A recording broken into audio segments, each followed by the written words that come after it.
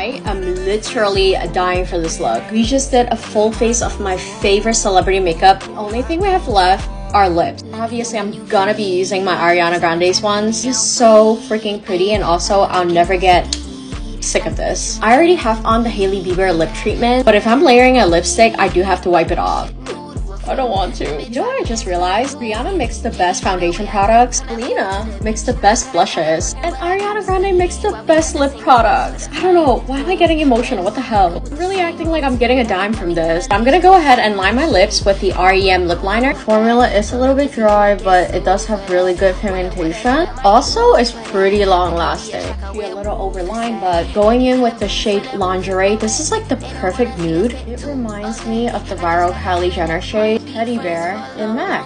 Adding on the lip oil, I'm obsessed with this look.